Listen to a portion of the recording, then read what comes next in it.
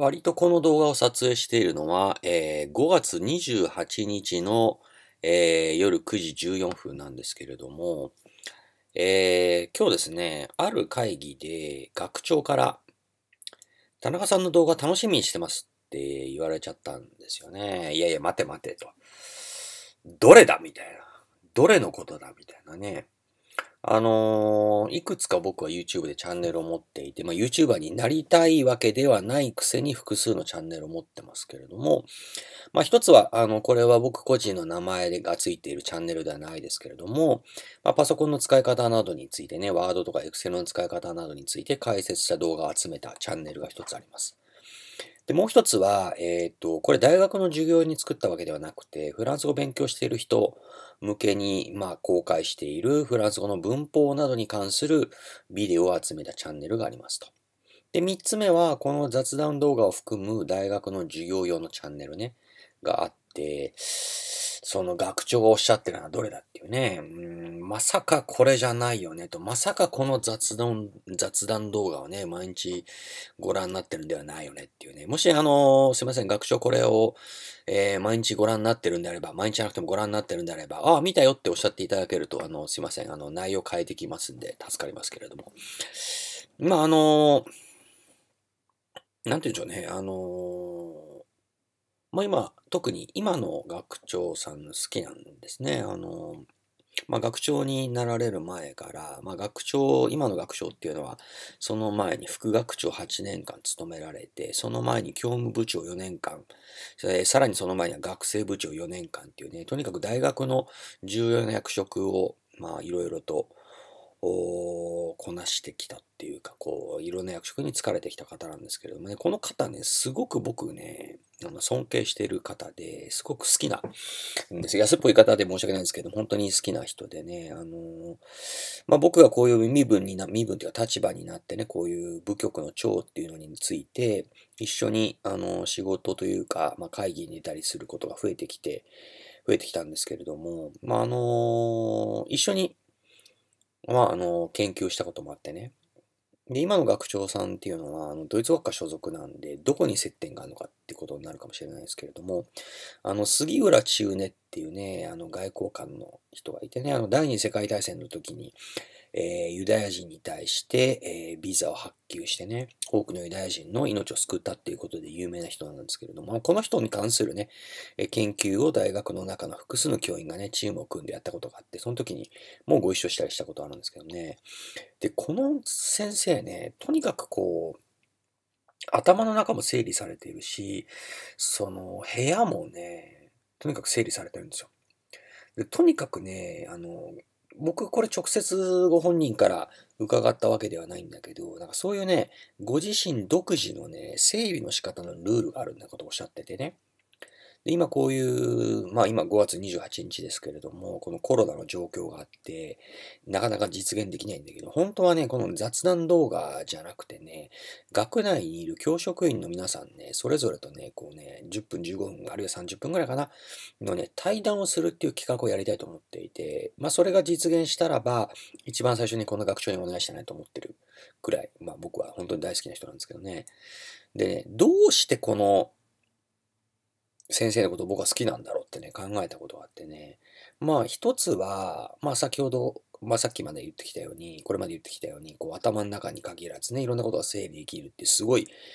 えー人だっていうことがあるんだけども、それ以外にね、このね、とにかくね、相手のことを思いやる気持ちがね、すごいんですよね。で、なんかこう、僕みたいなね、こう、汚れがね、あの、大学の中で一番上にいる先生に向かってね、なんか評価をするっていうのはものすごい失礼な、恐れたことだと思いますけれども、とにかくね、褒め上手だと思うんですよね。でね、なんかね、あのーあ、まあ、僕はこの、この先生にね、もうずっとついていこうかな、みたいな感じがすごくしているんですけれども、ある時ね、僕自身の了解を得ずに、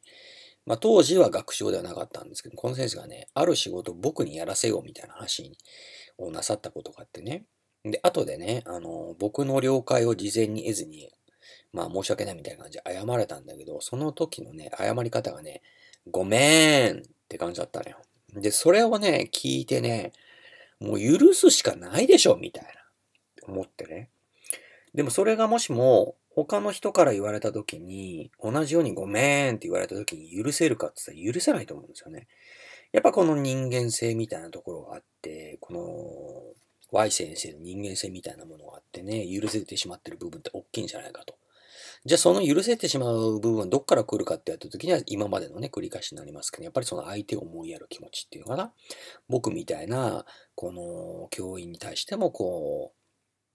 う、なんていうかな、気にかけてくださくださっているね、気持ちっていうのかな、がもう伝わってくるっていうかね、ところだと思うんですよね。で、とにかくね、こう、この先生はね、誰に対しても、まあ学長ってことはこのいやらしい言い方っていうかさ、こう変な言い方だけど、こう、大学っていうね、ピラミッドの組織のてっぺんに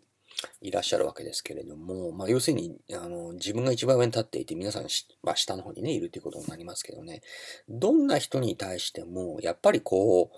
何かをしてもらった時には感謝の気持ちを言う、述べるんだよね。で、まあ、あの、誰に限らず、相手に、相手がどんな人であろうと、まあ、あの、いいことした場合には、そのことをすごくね、褒めてくださるっていうのかな。で、この相手を褒めるっていうのはね、すごく重要なことで、これはね、例えばね、もしこのビデオを見てる人の中に、子育て中の人がいたらね、あの自分の子供がいいことした時にはね、いいこと、素晴らしいこと、まあ、美しいことをした時にはね、褒めてあげるってすごく大事だと思うんですよ。で、その褒められることによってね、子供を育つ部分ってあるので、あると僕も思ってるし、これはなんかあの、そういう児童教育の世界でもね、言われてることらしいですけれどもね、そういうことってすごく大事だと思っていて、で、この僕ぐらいの年になっても、やっぱり誰かから褒められてるのはすごく嬉しいところがあるんだよね。で、そういうふうにさ、褒めるっていうことっていうのは、まあ、なんていうのかな、あの、お互いの人間関係を良好に保つっていうこと以外にね、その人のこの存在を認めるみたいなところもあると思うんですよね。でそういうのっていうのは、まあ、それぞれの人間が意識していないとできないことだと思うんでね。まあ、このビデオを見てくれている人が、例えばどんな身分の人が僕にはよくわかりませんけれども、例えば大学生ですね、今の現役の学生さんだとして、